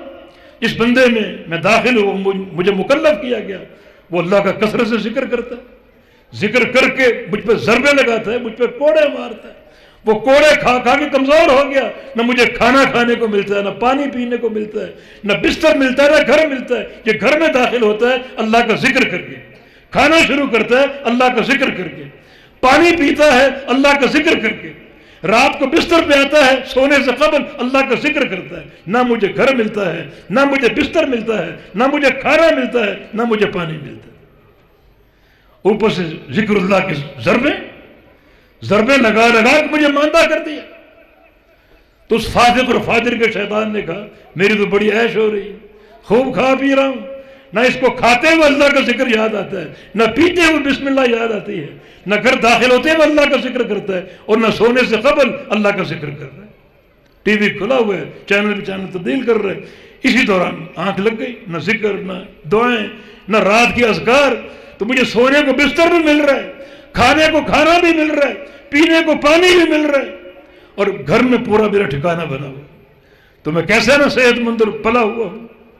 تو اللہ کا ذکر اگر شیطان کو اپنی صفوں سے دور کرنا ہے، اس کے چموں سے بچنا ہے، اس کی عدالت سے بچنا ہے، تو اللہ کا ذکر قرآن کی تلاوت اس کا بہت بڑا اور مضبوط ایک سہارا ہے۔ فرمایا کہ فتح ادو اسے دشمن بنا کے رکھو۔ اور ایسا جو اس کے حربے ہیں جب ہم نے عرض کیا کہ شرک اور بدعت کے حربے، یہ پہلے جال انسان پر پھینکتا ہے۔ ان سے اپنے آپ کو بچاؤ۔ اپنے آپ کو ان سے بچاؤ۔ اللہ کے پیارے پیغمبر نے ایک بدعت کے تعلق سے جو آپ نے تشریح دی کہ بدعتی کے قریب جانا بھاولے کتے کے قریب جانے جیسے کتے سے دور رہو، اس کے شر سے محفوظ رہو گے کتے کے قریب جاؤ گے تو کیا ہوگا؟ وہ تمہیں کاٹ لے گا۔ جب وہ کاٹ لے گا تو لا مفس اللہ داخلہ۔ تو اس کا جو بھاولا پن ہے، اس بندے کے ریشے ریشے میں داخل ہو جائے گا۔ کوئی اس کا حصہ نہیں بچے گا۔ وہاں وہ بھاولا پن داخل ہوگا اور وہ بندہ کتے کی طرح بھاولا ہو جائے۔ یہی بات آپ نے فرمائی جو صاب العرا ہیں، جو قیامت سے قبل آئیں گے، ان سے دوری اختیار کرو۔ ان کا اگر قرب اختیار کرو گے، ان کے قریب جاؤ گے، تو ان کا قرب اختیار کرنا بھاولے کتے جیسا اختیار کرنے کے اترا دے۔ اس کا اثر تم تک پہنچ سکتا ہے۔ تبھی تو کتاب و سنت نے بدت کے تعلق سے، اہل بدت کے تعلق سے۔ بڑے شدید احکام اللہ کے پیارے پیغمبر نے بدت کو شر الامور کہا ہے۔ اور صرف صالحین بھی اس تعلق سے بڑے باغیرت واقع ہوئے۔ صرف ایک قاضی فضیل بن ایاز کا قول، بڑا تاریخی قول ہمارے لیے مشہور راہ ہونا چاہیے۔ فرماتے ہیں، من تبسم فی وجہ مبتدع فقد استحان ما انزل اللہ جو بندہ کسی بدعتی کو دیکھ کر مسکراتا ہے۔ اس نے اللہ کی وحی کا کتاب و سنت کا مذاق اڑایا۔ کہ تمہیں ہم نے اپنے علم سے مالا مال کیا۔ اور تم ایک بدعتی انسان جو جو شر الرجال ہے، اسے دیکھ کے مسکرا رہے۔ تو من تبسم فی وجہ مبتدع فقط استحان ما انزل اللہ۔ اور من زب وجہ کریمت ہم مبتدعین فقط قطع رحمہ۔ اپنی بیٹی کا رشتہ کسی بدعتی کو دے دے۔ اپنی بہن کسی بدعتی سے پیار دے۔ اپنی بیٹی کسی کو دے دے، کسی بدعتی کو۔ تو کیا ہوگا؟ فرمایا، اسی وقت اس نے اپنا رشتہ اس سے توڑ دیا۔ رشتہ ختم ہو گیا۔ رشتہ باقی نہیں رہا۔ تو آپ کہیں گے، اس سے ہمارا کیا بگڑتا ہے؟ بس وہ بوجھ ٹال دیا ہم نے۔ رشتہ رہے یا نہ رہے؟ نہیں میرے بھائی رشتہ ٹوٹ جانا اللہ کے عذاب کا موجب ہے۔ نبی اسلام کی حدیث ہے، الرحم معلقۃ بالعرش، تقول، سل من وصلنی وقت من قطعنی۔ یا تقول، من وصلنی فصلہ اللہ ومن قطعنی قطعہ اللہ۔ یہ رشتہ داری جو ہے، اللہ کے عرش کے ساتھ لٹکی ہوئی ہے۔ عرش کے ساتھ لٹکی ہوئی اور ہر وقت یہ کہہ رہی ہے، جس نے مجھے ملایا اسے اللہ ملا لے گا۔ جس نے مجھے توڑا، اس کو اللہ توڑ دے گا۔ بلکہ صحیح بخاری کی حدیث ہے، رسول اللہ علیہ وسلم کو فرمان ہے کہ تاثر رحم یوم القیامہ بتا خود بحکم الرحمن۔ یہ رشتہ قیامت کے دن آئے گا، رحمان کے حکم کو پکڑ لے گا۔ ہر انسان کی حکم جو ہے، جہاں ازار باندھتا ہے، یا اپنا تحبت مانتا ہے، یہ حصہ کک یہ حکم کہلاتا ہے۔ رحمان کی حکم ثابت ہے، کیفیت ہم نہیں جانتے۔ ہر چیز اس کی کمال کی ہے، جو ذکر ہے اس پر ایمان ہے۔ اور جہاں خاموشی وہ اللہ کے سپرد ہے حکم الرحمان کو پکڑ لے گا، رشتہ۔ اور کیا کہے گا؟ آج قیامت کا دن ہے۔ سلم بسلنی وقت امن قطع یا اللہ، جس نے مجھے دنیا میں جوڑا، اسے تو اپنے ساتھ جوڑ لے۔ جس نے مجھے توڑا، اسے تو بھی توڑ دے۔ یعنی یہ نہیں کہ رشتہ ختم ہو گیا، ہمیں کیا؟ جانے دو۔ ایک بوجھ سر سے ٹل گیا۔ نہیں، اس کی جواب دہی ہے۔ بات ہے کہ اپنی بیٹی یا بہن کسی بدعتی کو دے دی، تو اس نے اسی وقت اس کا رشتہ توڑ دیا۔ من شاہد جنازت مختلف کوفی سخت اللہ حتی یرجع، اور جو بندہ کسی بدعتی کے جنازے میں شریک ہو جائے، جب تک وہ جنازے میں موجود ہے، اس پر اللہ کی لانتیں برستی رہتی ہیں، جب تک لوٹنا ہے۔ اور فرمایا کہ من فقر صاحب بدعت فقط آن علی حتم الدین۔ اور جو کسی بدعتی کی توقیر کر لے، اس کی عزت کر لے، اس نے دین کی عمارت کو اٹھا دیا۔ ہاں کچھ علائق ہوتے ہیں۔ بیٹا مثلا بدعتی ہے، باپ سنت پر ہے۔ وہ ایک رشتے کا ایک تعلق ہوتا ہے، وہ الگ چیز ہے۔ یا آپ کے پارٹنر ہیں کوئی، کاروباری پارٹنر، کر سکتے کاروبار۔ ایک بدعتی انسان سے کاروبار کر سکتے، وہ میل جول کاروبار کی بنا پر، دین کی بنا پر نہیں ہے۔ لیکن وہ میل جول جس کی اساس دین ہو اگر وہ کسی بدعتی سے ہوگا یہ ساری باتیں موجود ہیں۔ تو یہ شیطان کا سب سے بڑا حرب ہے۔ بلکہ سفیان سوئی رحمہ اللہ کا قول ہے البدعت حب علیہ المعصیہ۔ کہ بدعت کا عمل، حالانکہ بظاہر نیکی کا عمل۔ شیطان کو زیادہ پسند ہے گناہ کی بنسبت۔ گناہ میں چوری، ڈاکہ، زنا۔ اور گناہ میں جناب بڑے بڑے جرائم۔ لیکن ایک بدعت کا عمل وہ کسی سے کروا لے تو ابلیس کو زیادہ محبوب ہے بدعت گناہ کی بنسبت بڑا واضح ہے۔ بدعت اگر کرے گا، نیکیاں برباد ہو جائیں گی۔ گناہ اگر کرے گا، کم از کم نیکیاں محفوظ ہیں۔ قیامت کی تولی جائیں گی۔ کامیابی کی توقع ہے۔ گناہ کرنے پر نیکیاں ضائع نہیں ہوتی۔ بدعت کے ارتکاب پر نیکیاں ضائع ہو جاتی۔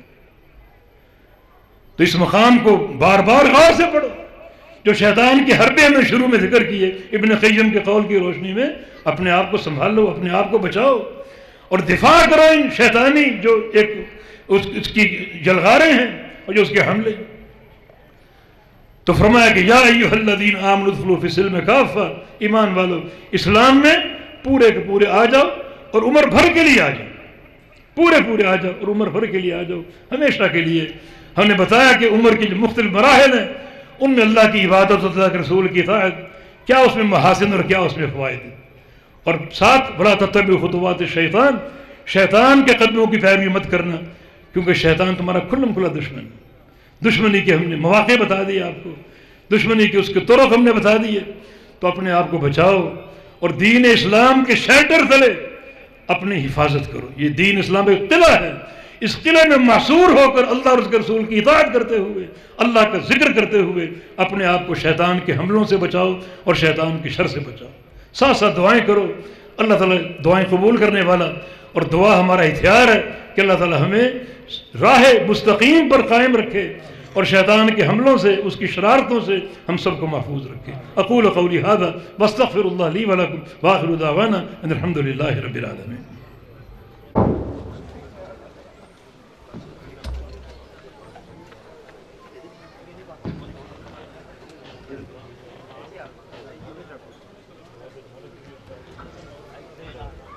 الله أكبر الله أكبر. أشهد أن لا إله إلا الله. أشهد أن محمدا رسول الله. حي على الصلاة حي على الفلاح. قد قامت الصلاة قد قامت الصلاة. الله أكبر الله أكبر. لا إله إلا الله.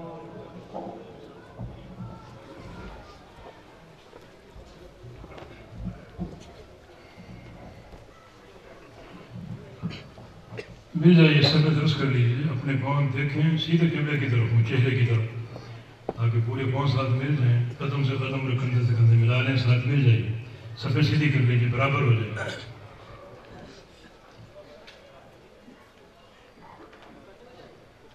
اللہ اکبر۔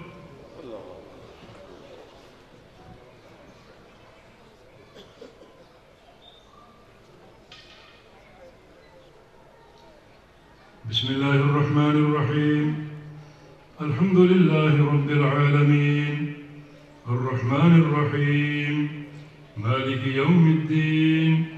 إياك نعبد وإياك نستعين. اهدنا الصراط المستقيم. صراط الذين أنعمت عليهم. غير المغضوب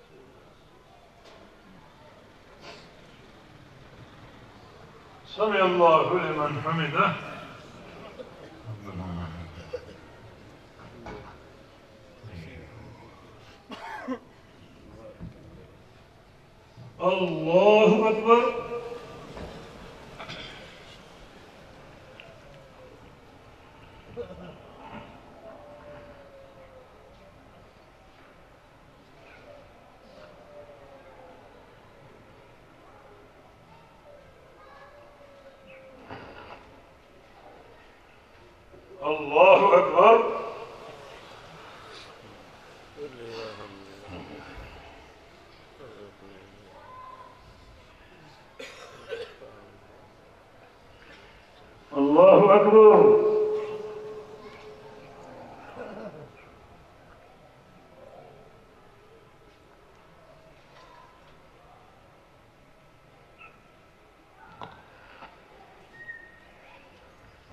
الله أكبر.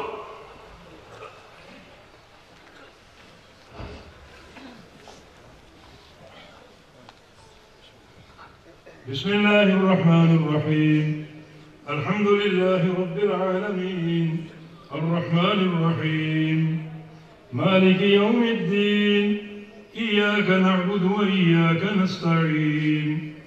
اهدنا الصراط المستقيم.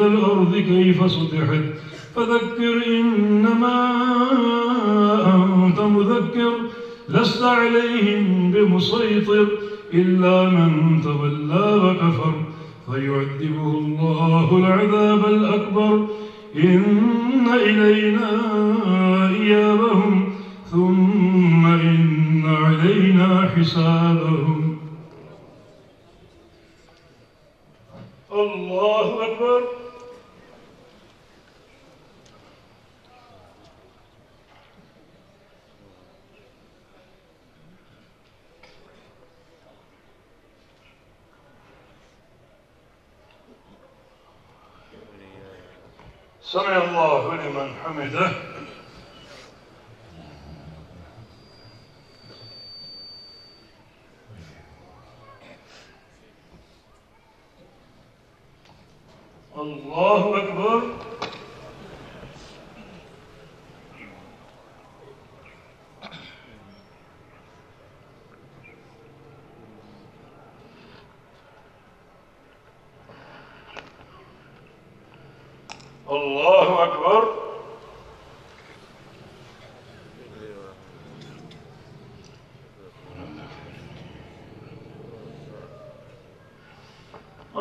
the akbar.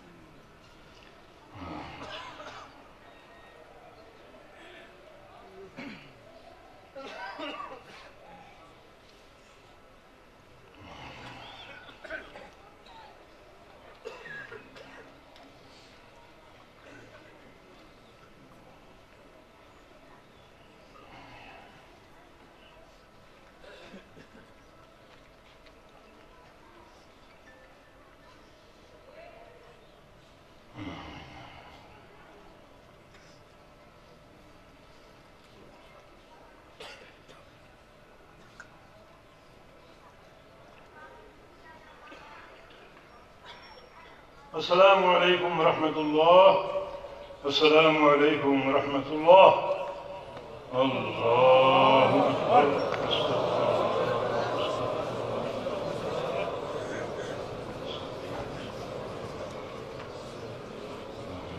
رب العالمين الرحمن الرحيم مالك يوم الدين. إياك نعبد وإياك نستعين. اهدنا الصراط المستقيم. صراط الذين أنعمت عليهم. غير المغضوب عليهم ولا الضالين آمين. يا رب لك الحمد كما ينبغي لجلال وجهك ولعظيم سلطانك اللهم ربنا لك الحمد حمدا كثيرا طيبا مباركا فيه. ربنا لك الحمد ملء السماوات وملء الأرض وملء ما شئت من شيء بعدك سبحان الذي بحمده عدد خلقه ورضا نفسه. وزنة عرشه ومداد كلماته. اللهم صل على محمد وعلى آل محمد كما صليت على إبراهيم وعلى آل إبراهيم إنك حميد مجيد. اللهم بارك على محمد وعلى آل محمد كما باركت على إبراهيم وعلى آل إبراهيم إنك حميد مجيد. ربنا ظلمنا أنفسنا وإن لم تغفر لنا وترحمنا لنكونن من الخاسرين. ربنا آتنا في الدنيا حسنة وفي الآخرة حسنة وقنا عذاب النار. ربنا لا تؤاخذنا إن نسينا أو أخطأنا. ربنا ولا تحمل علينا إصرا كما حملته على الذين من قبلنا. ربنا ولا تحملنا ما لا طاقة لنا به. واعف عنا واغفر لنا وارحمنا. أنت مولانا فانصرنا على القوم الكافرين. رب اغفر وارحم وأنت خير الراحمين. رب اغفر وارحم وأنت خير الراحمين. ربنا اصرف عنا عذاب جهنم. إن عذابها كان غراما. إنها ساءت مستقرا ومقاما ربنا هب لنا من أزواجنا وذرياتنا قرة أعين. واجعلنا للمتقين إماما. رب اغفر وارحم وأنت خير الراحمين. اللهم أحسن عاقبتنا في الأمور كلها وأجرنا من خزي الدنيا وعذاب الآخرة. اللهم انصر الإسلام والمسلمين. اللهم انصر من نصر دين محمد صلى الله تعالى عليه وسلم. واجعلنا منهم. واخذل من خذل دين محمد صلى الله تعالى عليه وسلم. ولا تجعلنا منهم. اللهم انصر الإسلام والمسلمين اللهم انصر الإسلام والمسلمين اللہ تعالیٰ مجاہدین کی، مسلمانوں کی مدد فرما۔ یا اللہ، جہاں بھی تیرے الہ کلمت اللہ کے لیے جہاد ہو رہا ہے، دعوت ہو رہی ہے، یا اللہ سب کو مستحکم کر دے، مضبوط کر دے۔ یا اللہ، ہماری پروازیں اونچی کر دے۔ اس وقت دو بڑی طاقتیں نبورد آزما ہیں، یوکرائن اور روس، چائنا بھی بیچ میں کود رہا ہے امریکہ بھی۔ یا اللہ، ان بڑوں بڑے سرکشوں کو آپس میں مشغول کر دے تہس نہس کر دے، تتر پتر کر دے۔ ان کے شر سے عالم اسلام کو محفوظ فرما مسلمانوں کو مستحکم کر دے۔ ہماری پروازیں اونچی کر دے، یا رب العالمین۔ کمزور ہیں، ناتواں ہیں، یا اللہ۔ ہماری پروازیں اونچی فرما دے۔ ہمیں طاقت اور ہمت عطا فرما دے۔ وہ وسائل عطا فرما دے جو تیرے کلمہ کے اعلیٰ کے لیے صرف کر سکیں۔ ملک کے چپے چپے پر اسلام کو نافذ کر سکیں۔ یا اللہ، یہ ملک پاکستان ہمارا پیارا وطن ہے۔ یا اللہ اس کے چپے چپے پر اپنی توحید قائم کرنے کی توفیق عطا فرما دے یہی پاکستان کے قیام کا مقصد تھا پاکستان کے مطلب کہ لا الہ الا اللہ مگر ہم اس پیغام سے بالکل غافل ہو چکے ہمارے حکام کو اس پیغام کی ہوش تک نہیں ہے یا اللہ توفیق دے کہ ہم اس وطن عزیز کے چپے چپے پر تیری توحید کو اور تیرے پیارے پیغمبر کی سنت کو نافذ کر سکیں رب اغفر ورحم وانت خیر اذهب الباس رب الناس واشف انت شافی لا شفاء الا شفاء شفاء لا يغادر السقم. یا اللہ تمام بیماروں کو شفا عطا فرما دے تمام بیماروں کو صحت کاملہ عاجلہ دائمہ عطا فرما دے بہت سے دوستوں نے اپنے بیماروں کے لیے دعا کی اپیل بھیجی ہے۔ جس جس نے اپیل بھیجی، یا اللہ ان سب کو صحت کاملہ عطا فرما دے یا اللہ تیرے حکم سے جو اولاد سے محروم ہے بے اولاد ہے یا اللہ ان کو نیک، صالح اولاد عطا فرما دے یا اللہ ان کو نیک اور صالح اولاد عطا فرما اور جن کو تو نے اولاد کی نعمت سے سرفراز کیا، یا اللہ ان کی اولاد کو نیک اور صالح بنا دے، اچھی صحبتیں عطا فرما دے، بری صحبتوں سے ان کو بچا لے اپنے ماں باپ اور جماعت کی آنکھوں کی ٹھنڈک بنا دے۔ ربنا ظلمنا انفسنا ظلما كثيرا ولا يغفر الذنوب الا انت فاغفر لنا مغفرة من عندك وارحمنا انك انت الغفور الرحيم یا اللہ جب ہمارے بزرگ اور ساتھی کل تک ہمارے ساتھ تھے، جماعت کا حصہ تھے، اور جن کی تقوی سے ہم محظوظ ہوتے تھے، تیرے پاس چلے جا چکے، تیرا امر آ چکا۔ یا اللہ ان سب کی مغفرت فرما دے۔ یا اللہ ان سب کی جج قبروں کو جنت کا باغیچہ بنا دے۔ سب کی قبروں کو منور فرما دے۔ سب کی قبروں کو کشادہ فرما دے۔ یا اللہ جہاں وہ گئے ہیں ہم نے بھی وہیں جانا ہے۔ یا اللہ ہمارے ساتھ بھی اپنی رحمت کا معاملہ فرما یا اللہ اپنے فضل کا معاملہ فرمانا۔ کل نفس ذائقۃ الموت، سب نے اس قبر میں داخل ہونا ہے۔ یا اللہ، ہمارا یہ مقام اچھا کر دینا۔ ہماری قبر کی راتیں یا اللہ، امن اور سلامتی کے ساتھ یا اللہ بنا دے، بنا دینا۔ الہ العالمین، ہمیں عافیت کی زندگی عطا فرما دے۔ عافیت کی موت عطا فرما دے۔ اور عافیت کا سارا معاملہ ہمارے ساتھ فرمانا۔ بہت سے نام آئے ہیں ہمارے بزرگوں کے جو تیرے ہاں پہنچ چکے۔ حاجی رفیق صاحب ہیں، ماسٹر عطا اللہ صاحب محمدی۔ عزیز الرحمان صاحب اور خواجہ عتیق اور خواجہ اسلم، ان کی خواجہ سلیم یحییٰ، ان کی والد، ان کی والدہ اور ماسٹر عبدالغفور صاحب، ڈاکٹر نصر اللہ صاحب اور بہت سے نام جو آئے، بہت سے دوستوں نے ذکر کیا، یا اللہ سب کی مغفرت فرما دے، سب کی قبروں کو جنت کا باغیچہ بنا دے، یا اللہ سب کے ساتھ اپنی رحمت اور اپنے فضل کا معاملہ فرما دے۔ جو بیمار ہمارے بھائی ہیں، دوست ہیں، بزرگ ہیں سب کو صحت کاملہ عطا فرما دے۔ ایک صاحب نے بیوی کی کینسر کا ذکر کیا ہے۔ اللہ ان کو شفا دے دے۔ ایک اور دوست ہے، ان کی خالہ خالہ، بیمار اللہ تعالیٰ ان کو صحت دے دے۔ سارے مرحومین کو اللہ تعالیٰ بخش دے اور سارے مریضوں کو اللہ تعالیٰ شفا کامل عطا فرما دے۔ یا اللہ بخشش فرما دے، گناہ معاف فرما دے۔ یا اللہ اجتماع کو اجتماعی مرحوم بنا دے، ایک ایک شریک کار کو اپنی رحمت سے ڈھانپ لے۔ اور جب یہاں سے پروگرام ختم کر کے جائیں یا اللہ ہم ایک ایک گناہوں کو معاف فرما دے۔ جو قدم تیری راہ میں اٹھے، یا اللہ ایک ایک قدم کو اپنی رحمتوں سے بھر دے، برکتوں سے بھر دے، اپنے دین کو سچا دائی بنا دے، دین کا دعوت دینے والا بنا دے۔ یا اللہ ان اداروں کو قائم و دائم رکھ۔ یا اللہ ہمارے فاضل دوست، انتہائی قریبی دوست، ہمارے دل سے زیادہ عزیز دوست، قاری عبدالوکیل زندگی۔ یا اللہ یا اللہ بخش دے یا اللہ رحمت کا معاملہ فرما۔ یا اللہ ہم کی قبر کو کشادہ کر دے بڑے ان کے روحانی بیٹے ہیں اور بڑی وسیع ان کی جماعت ہے۔ ایک ایک بندہ ان کے لیے صدقہ جاریہ ہے۔ انشاءاللہ کل قیامت کے دن خاص طور پہ خان پور کا ایک ایک ذرہ گواہی دے گا کہ اس بندے نے توحید بیان کی تھی تیرے پیغمبر کی سنت بیان کی تھی۔ یا اللہ اپنے رضا کے لیے قبول فرما دے ہماری نیتوں کو خالص بنا دے۔ جو ان کا پودا لگایا ہے، یا اللہ اس کی آبیاری کی توفیق عطا فرما دے۔ ہمارے عزیز حافظ عامر کو یا اللہ توفیق دے، استحکام دے یا اللہ ان کو استقامت دے۔ جو ان کو ٹیم تو نے عطا فرمائی، بڑی قابل قدر ہے، بڑی عظیم ہے۔ یا اللہ ان سب کو استقامت عطا فرما دے۔ اس ادارے کو یا اللہ اسلام کا قلعہ بنانے کی توفیق دے دے۔ ایک ایک عظیم مرکز بن جائے۔ یہاں سے توحید اور سنت کی شمع روشن ہوں اور چراغوں چراغ جلتے جائیں اور دنیا جو ہے وہ منارہ نور بن جائے بقائے نور بن جائے۔ شرک مٹ جائے بدعتیں مٹ جائیں معصیتیں مٹ جائیں اور دلی توحید اس وطنی عزیز پر قائم ہو جائے۔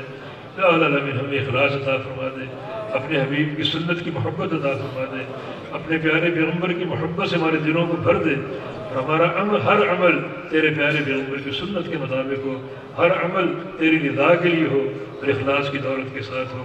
ربنا اغفر لنا ما قدمنا وما أخرنا وما أسررنا وما أعلنا وما أسرفنا وما أنت أعلم به منا. أنت المقدم وأنت المؤخر. لا إله إلا أنت. لا إله إلا أنت. یا اللہ جو تو نے توحید کی محبت عطا فرمائی ہے، اسے ہم بطور وسیلہ تیرے حضور پیش کرتے ہیں۔ ہماری اس توحید کی محبت اور برکت سے یا اللہ ہمارے گناہوں کو معاف فرما دے یا اللہ راضی ہو جا، تیری رضا چاہیے۔ یا اللہ تیری رحمت اور تیری محبت کے خزانے چاہیے۔ یا اللہ اگر تو نے چھوڑ دیا تو پوری دنیا کسی کام کی نہیں۔ ہم دھتکارے جائیں گے تیری رحمت سے دھتکارے جائیں گے۔ یا اللہ تیرے پیارے پیغمبر کی دعا کے مطابق، لا تکلنا الى نصر الى انفسنا طرفت عین ہمیں، ہمارے سپورٹ نہ کر دینا، اپنی رحمت کے سہارے پر قائم رکھنا، اپنی محبتیں عطا فرما دینا۔ رب اغفر وارحم وانت خير الراحمين۔ اللهم انصر الاسلام والمسلمين اللهم انصر من نصر دين محمد صلى الله تعالى عليه وسلم. واجعلنا منهم. واغفر خاطر دين محمد صلى الله تعالى عليه وسلم. ولا تجعلنا منهم. يا حي يا قيوم برحمتك نستغيث. يا حي يا قيوم برحمتك نستغيث. يا حي يا قيوم برحمتك نستغيث. يا ذا الجلال والإكرام يا ذا الجلال والإكرام يا ذا الجلال والإكرام. ربنا تقبل منا إنك أنت السميع العليم وتب علينا إنك أنت التواب الرحيم. برحمتك يا أرحم الراحمين وصلى الله